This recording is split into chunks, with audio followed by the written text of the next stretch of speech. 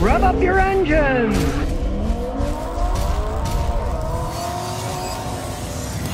Well, you don't want to end up furious at the car, so today I'm going to tell you all about buying one of these Mitsubishi Lancer Evolutions. Now this one's an 03. First year they imported in the United States. It's set up so this little bitty two liter four cylinder engine could put out 271 horsepower. It's got a turbo. And with the all wheel drive system, these aren't just front wheel drive, they're all wheel drive. There's the rear differential. You got the drive shafts going to the back wheels too.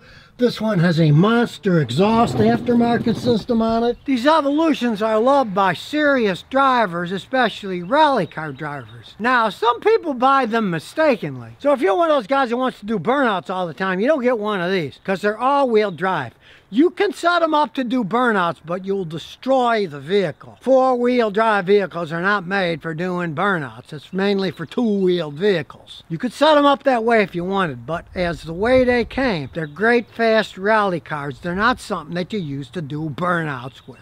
Sure, guys do, but they'll destroy the car, burn the clutch out in a very short period of time. They're not made for that. But they are fun to drive when they're running right. You can end up as the furious end of the Fast and Furious if you get one that's been modified incorrectly. So here's what you want to look out for. First, open hood, look around. Now look at this. This thing got wires, loose wires all over the place. That's a bad sign because generally sloppy wiring means sloppy all around work. And this particular one, no longer stock. It's been modified and that was a big mistake. Start it up and show you why. It does start right up. But right off the bat, when you rev it up, you can tell it's not right. Not only does it sound wrong, it's missing some, but it smells, and it smells of raw gasoline. Now, being a professional mechanic, I got a fancy scan tool, and it shows me that it is running too rich. But even if you don't have a scan tool, one you gotta know is you can smell that raw gas and check this out. When you stick your finger in, not only does it come out black, but it comes out black and wet. The black shows it's running super rich and the wet, gasoline. This thing is actually pumping bits of raw gasoline out the exhaust. And strangely enough, when I hook up my scan tools to it, it has no trouble codes. That shows a number two problem with Mitsubishi's is they got pretty crappy software in them. If this was a Toyota running that bad, it'd be tripping codes up the wazoo. But alas, it's not tripping any codes. It just shows that it's running too rich. This is what I see all the time. Why I advise people not to do it. This baby originally came with a turbocharger. It was designed that way. Now, granted, it's like many Mitsubishi vehicles, somewhat cheaply made, because if you look and look and look, there are no boost gauges. So you have no idea idea how much boost this thing is giving out. And you might think, oh, just some stupid gauge. What does that mean? It means a lot in turbocharged cars because then you can see, is it boosting like it should, the right amount of pressure? Is it not working at all? If you got a turbo on a car, you really need a boost gauge. This does not have one. It didn't come with one. And whoever added this ridiculous Typhoon intake system. So when you do have problems, it's hellacious to figure out what's wrong with these things, especially when somebody put aftermarket parts on them. And after all, it is a Mitsubishi. I've been telling people for decades. Mitsubishis are basically throwaway cars. Back in the day, a lot of Plymouth Chryslers, they imported Mitsubishi, sold them under the Chrysler brand, and that's exactly what they were. Cheaply made throwaway vehicles. They could run okay for a while, but then when they broke, they cost too much money to fix and you throw them away. Now I do have to applaud the engineers that made this little two liter put out 271 horsepower, but at the same time, there's very little good analytics on a stock car to figure out what goes wrong with the one that came from the factory this way. And when you start adding aftermarket stuff like cold air intakes, all that stuff, that's not factory.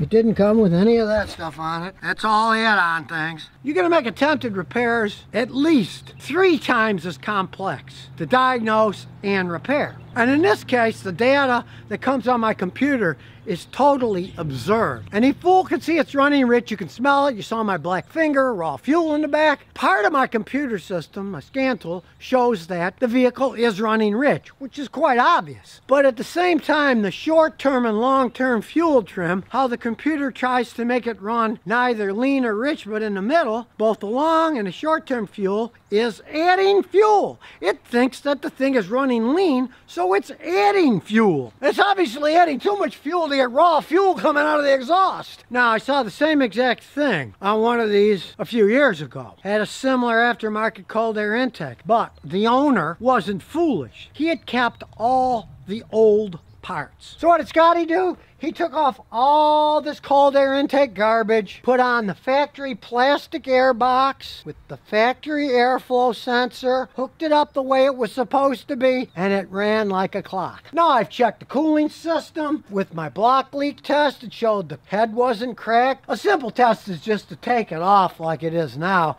and start the engine cold. And if you saw a bunch of air bubbles coming out, that's the head gasket being blown and throwing exhaust gas through. But as you saw, it was there. They'll always rumble up and down a little. There was no fumes coming out. I knew from my a block leak test that it didn't. If you're looking at one of these when it's cold, first thing, take it off started.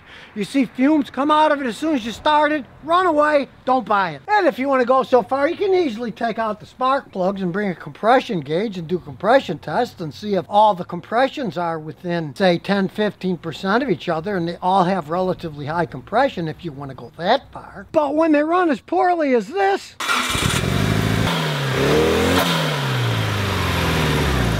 My advice again is hand the key back to the owner and don't buy it. You have no idea what has been done to the vehicle. How to tell if a car you're looking at to buy has the real mileage on the odometer or whether it's got a lot more miles on it. Now, I drove it over here with this X on. I don't know what that's about, but as we go inside, we can see, even though it's a 2005, it says it's only got 75,000 miles on it. And yes, there are crooked people around that will set them back. So, what do you do? Well, of course, if you can get a Carfax or something that shows when it was inspected, how many miles it had on, look for oil change records. This case comes with a book, including a card from the Lexus dealer that it was originally sold at. And this log book has mileage, oil changes, so it all fits. Started in the beginning and made it all the way up to what it's got now. But let's say it didn't have any. Well, somebody might have messed with it and cheated with the odometer reading. So what you want to do is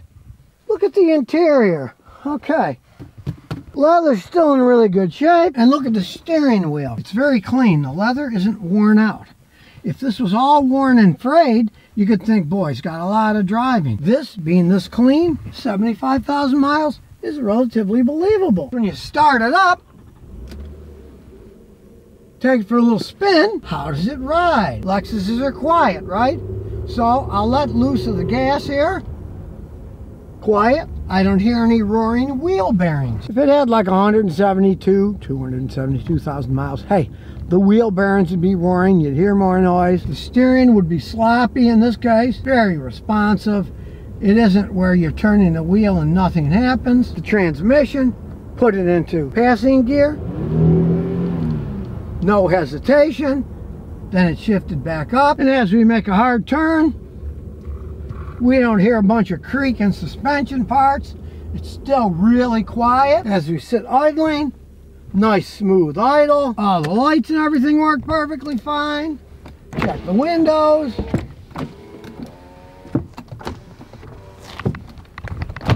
They all work fine. And of course, we'll plug our scan tool in. This is going to give us all kinds of information. This is going to get the mileage, the ES330. While it's running through everything, hey, we'll just take a general look around. The dash is in good shape. Now you can see the little airbag thing is wallowing out a little, and that's typical from the age. That has nothing to do with mileage. It's in the sun. It's going to be a little bit warped. That's what happens to that plastic. Like I say, the steering wheel has normal wear. It's not all worn out, showing that it's really high mileage. The elbow rest isn't worn out. The metal isn't. Totally believable that's the real mileage. This is a typical Lexus. They run great. Look, everything's green. there are no codes. Look at the live data stream. Now in this case, the mileage on the screen is the same as the mileage on the odometer, so got to be pretty real. The airflow ratio sensors, you can see they're doing pretty good. 1.000 is perfect, pretty close to perfect. In this case, it doesn't really matter that the car is 18 years old. It's that it's only got 75,000 miles, and that's nothing on a Lexus. You can see misfire counts, 1, 2, 3, 4, 5, 6, 0, the whole way across the boards. No misfires at all. It's stable at 17.5 degrees, not moving at all until we rev it up, in which case it's going to go up. You can see it's going up like it's supposed to. Then as it goes back down, it will go back down to where it was before. It takes a while for it to equilibrate. So all the data shows me the car's running perfectly and that that is indeed the real mileage on this car. Let's pop a look under the hood. We'll give it a pop smooth running engine. Just realized this particular engine has one downfall. It is an ES330, so it has a rubber timing belt. Unlike just about every Toyota that's ever been made, you can see this one has been changed. And it was changed at 63,000 miles. Not too long ago, 75 now, so he doesn't have to worry about it. Now, I find that interesting because some other mechanic gave him a list of things he needed to do including the timing belt and water pump. This baby was just changed a little time ago, so the guy was ripping them off. He doesn't need to change it. It was changed recently. Always check things out before you pay money for anything. Guys are always trying to sell you stuff. Doesn't need it. It was done like 13,000 miles ago, and they're good for usually 100,000. All the systems are green. The ABS is green, so that's going to be working okay. Doesn't overheat. There's no obvious signs of wrecks. Okay, let's see. We got uh, a little over two fingers on the left front. We have here? Same thing, a little over two fingers. Car hasn't been wrecked in the front. Anything obvious anyways. In the back, again, this is two fingers. And we'll go to the other side. And the other side it's two fingers. So, it hasn't been all squashed in. And all the seams line up. Yeah, at some point in time, somebody's hit this and they've wrecked the paint, but it didn't break anything. That's just paint. It can be resprayed. You can get that painted over. But since that's been hit or painted before anyways, let's look in the trunk for possible wreck damage. We'll look inside. Looks pretty clean here. Let's look under here. Whistle clean, no smashes. This is how they build them. That's not repair. They're built that way so they don't leak. Got a nice spare too with an actual rim, not a fake one, the same fancy rim. They used to make these cars really well. You can see Made in Japan. So let's close the hood, take it for a serious drive. That's an old car, it's old school. It's got a six disc CD changer. no backup camera, but I got the stupid marking off, got in the way. Down the road we go. They handle quite well. Combination of smoothness and decent handling. Even though this one still has the original struts on it, just like my wife's, hers still has the original struts on it too. And it's a Lexus, so let's check out the anti-lock brakes. Yep, they don't lock up. No arguing that. They still work perfectly fine. Take it to our little drag strip. Nobody one way, nobody the other. That's good. But today there's somebody behind us, so we will get over to the side so we won't get in their way. And now they've passed us in a Toyota. Toyota products everywhere. Coming to our little drag strip, so nobody's behind us. And here we go. That baby still peels out. You can cruise all day long in these things. You don't get tired driving around. Looks like he got a good deal with a real 75,000 miles on the odometer. You might be surprised, but there's quite a few of these out here because there's a lot of elderly people that drive these comfortable cars. They don't put that many miles on it. And that's what he got. He got an elderly person's car who had traded it in. Strangely enough, at a Subaru dealership. Suspension's good. It doesn't pull one way or the other. Hey, I mean, it's a good car. Now, the reason he bought this, strangely enough, was he said he was looking at Camrys and Avalons, but being Toyotas, they have the image of they can last forever. They wanted a ton of money for one with really high mileage on it. And still today, some people think Lexus is a luxury car. It's going to cost a fortune to repair. Now, yes, if you have the V8 Lexuses, they can be very expensive to repair. But these sixes, they don't break down all that much. And they are not expensive to repair compared to the V8 Lexuses at all. You got to really get specific when you're talking about car repair. For example, I get a brake master cylinder for this thing for like 160 bucks. If it was a V8, it might cost 1800 bucks for the whole modular assembly. Sixes don't have all that complex crap that they put on their luxury eights. It's got a killer sound system. There's speakers everywhere. Well, we are in Tennessee, so do you expect to have country and western playing on the speakers? That's only to be expected here. Outlaw Field, outlaw music. And we get on the twisties. This thing is still fun to drive. Hey, they knew what they were doing when they made these things. Plus, they don't have the complexity of a modern one. This is a basic, naturally aspirated V6 engine with a very dependable automatic transmission. Not a CVT, not a DCT, just a plain old automatic transmission that, look, plenty of power, still shifts up and down perfectly fine. So that is that for the road test. Now of course, normally you will have a mechanic like me check it out before you buy, not after. He had somebody else check it out that he knew and then he found out I was in town. He brought it over here to let me check it out.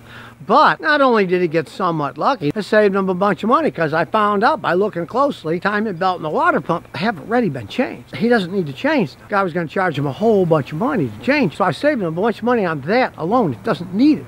It just was done about 13,000 miles ago. And people may be saying, oh, the price of used cars, blah, blah, blah, blah. You got this thing for like $7,000 with 75,000 miles on it in today's market. Don't poo-poo the idea of finding a Lexus with low mileage. A lot of older people like these luxury cars. They don't drive that many miles. That's totally believable. My wife's Lexus, it's only got 80 something thousand miles on it. It's a 2002. That's totally believable. We bought it from elderly people. We're elderly ourselves now. We weren't that elderly when we bought it, but it's lasted so long and we don't drive all that many miles. There are good cars like this out there if you check. Now, yeah, people lie, cheat, and steal about the mileage all the time, but now you know. There are things you can check to see if it is the real mileage. Things that would be a flag. Say the suspension was all creaking, rattling, and the steering wheel was worn out, and the seats were all worn out from wear and tear. Then you'd know, hey, it's got a lot more than 75,000 miles on it, right?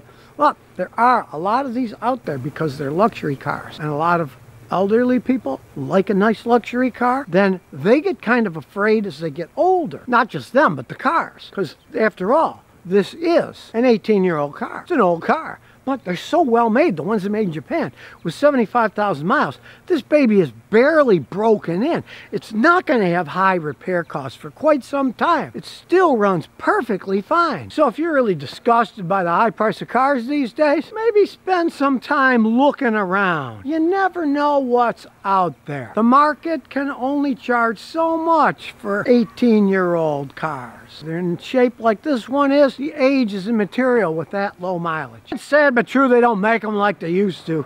The new Lexuses are not quite as solidly built as these older ones were. Everybody's cutting corners. It's just the way that it goes these days. And as the level of technology gets higher, so do the repair bills when those things finally do break down. Everything breaks down eventually. And it would be better to have simpler technology break to fix it than really high-tech stuff because we all know with the real high-tech stuff, a lot of times what happens when it breaks? You throw it away and get another one. Fine if you're talking about a cell phone, but if you're talking about a sixty, seventy thousand dollar car, I wouldn't want to be throwing it away anytime soon. I'd much rather buy one of these for six, seven grand and drive it for years and years. So if you never want to miss another one of my new car repair videos, remember to ring that bell.